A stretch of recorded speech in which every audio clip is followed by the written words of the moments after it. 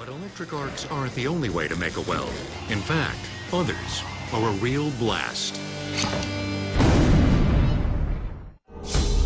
Pennsylvania's Allegheny Mountains, birthplace of American steel. Here in the hillsides that surround historic mill towns, the most powerful welding process of all occurs, more than half a mile underground. Fire hole!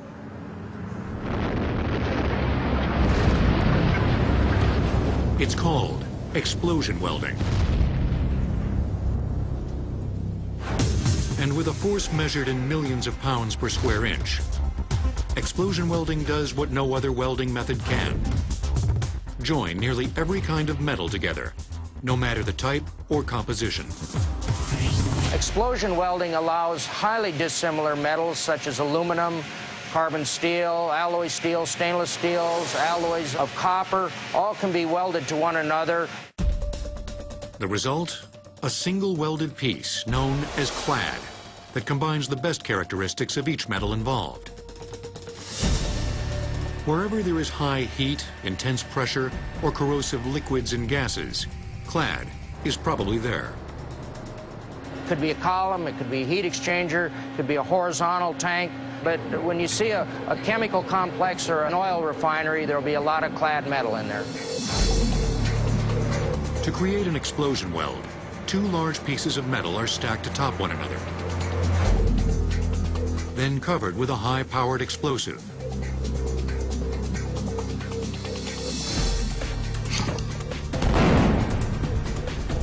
When detonated, the downward force of the explosion welds the two pieces together through a combination of intense force and remarkable physics. What you can see here, and it's very clear, you have two different materials. Stainless steel is a darker gray, a lighter gray for the carbon steel material.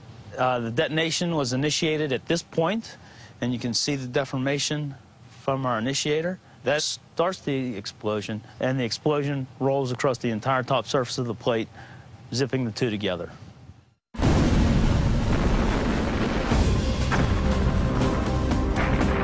Would have ever thought such a violent process could be controlled and mastered had it not been for the devastation and havoc of World War I and later, World War II.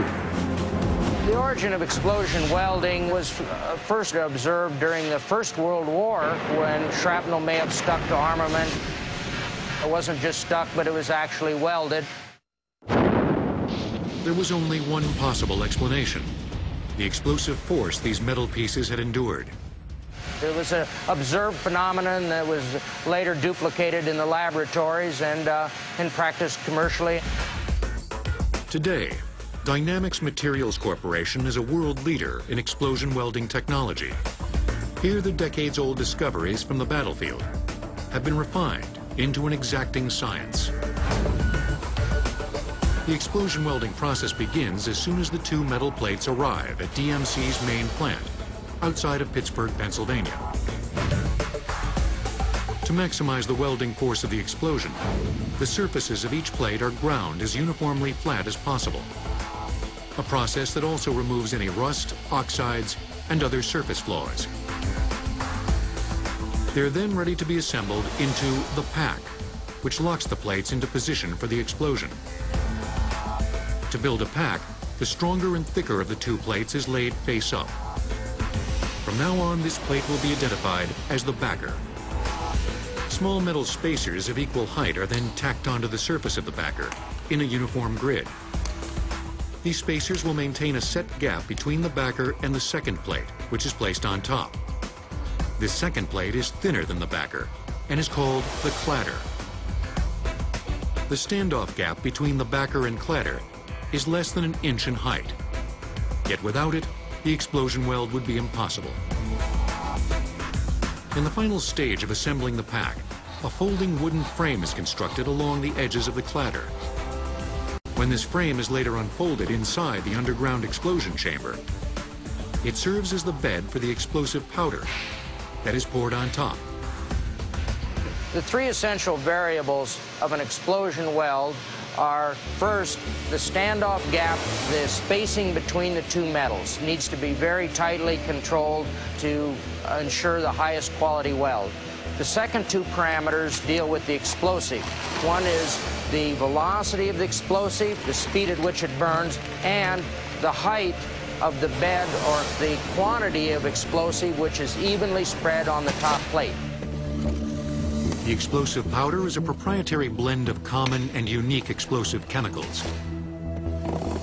The amount and exact formulation is always matched to the types of metal involved.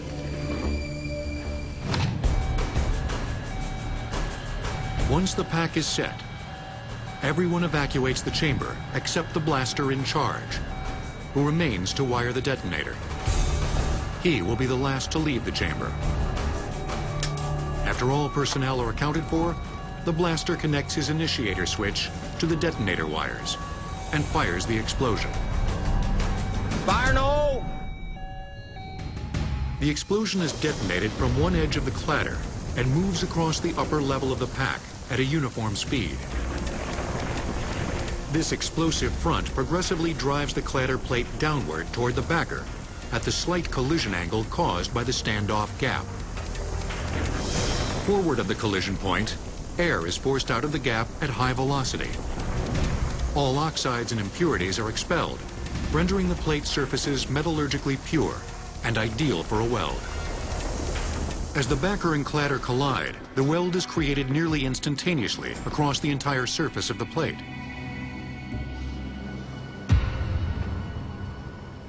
Because of the intense dust created by the explosion, workers can't retrieve the newly formed clad from the explosion chamber for more than 18 hours. Not surprisingly, the power of the explosion can cause significant deformation to the newly formed clad. Therefore, upon its return to DMC's central processing facility, the clad undergoes a final series of corrections.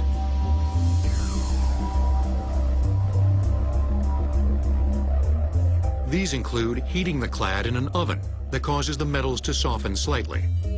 This relieves stress from the blunt force of the explosion's impact.